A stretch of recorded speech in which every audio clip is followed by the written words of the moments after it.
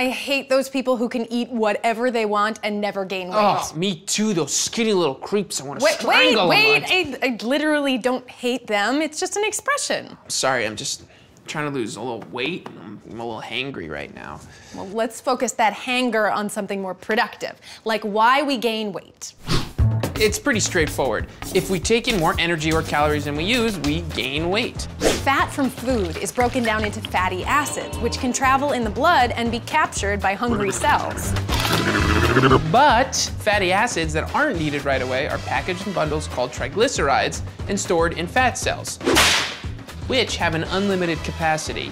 And those fat cells are then stored in mabute. Genetics and environment can play a role in weight gain too.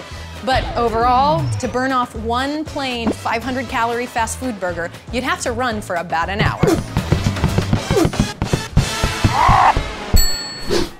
Well, great. Now we know why we gain weight. But that fat that makes him look meh in a Speedo served our ancestors on the Serengeti well. They only had a few meals a week. Between meals, most of their energy was from stored fat. Oh, that sounds awful. I get cranky even if I miss dinner. Linner? Yeah, that's the meal between lunch and dinner. I think I look skinny.